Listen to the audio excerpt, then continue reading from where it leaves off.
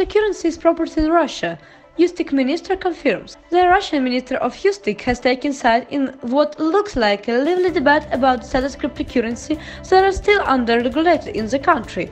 A bankruptcy case involving a modest amount of Bitcoin has sparked discussion in Russian large circles. Some say crypto is nothing more than a set of characters. Others, including the Justice minister, are categorical cryptocurrency can be anything else but property. Currency fall under the legal category of other property. Russian Justice minister Alexander Konovalov told reporters this week.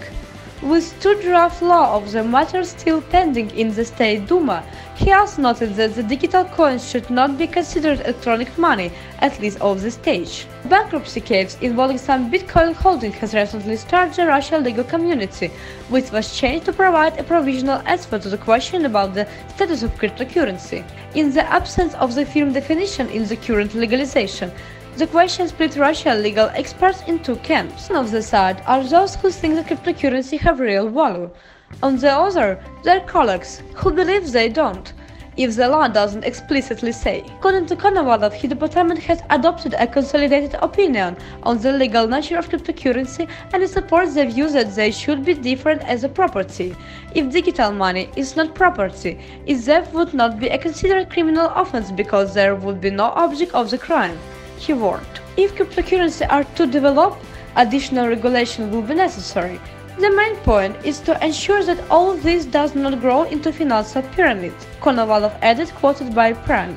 He is also convinced that Russia should introduce really crypto regulation, but also recognize that the phenomenon is itself a manifestation of the people's desire to escape from a total dependence. Mr. Konovalov's comments added the ongoing debate among experts and officials in Moscow on whether cryptocurrency can be considered a property in accordance with the current Russian legislation. The discussion was promoted by a bankruptcy filing from October last year.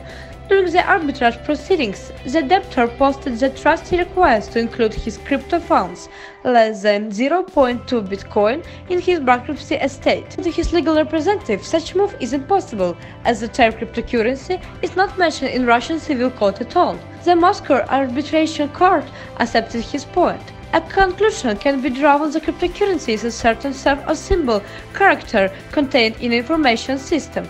It cannot be an object of civil rights, it said. Then, earlier in May, an arbitration court of Appeals overturned this ruling recognizing cryptocurrency as a valuable property.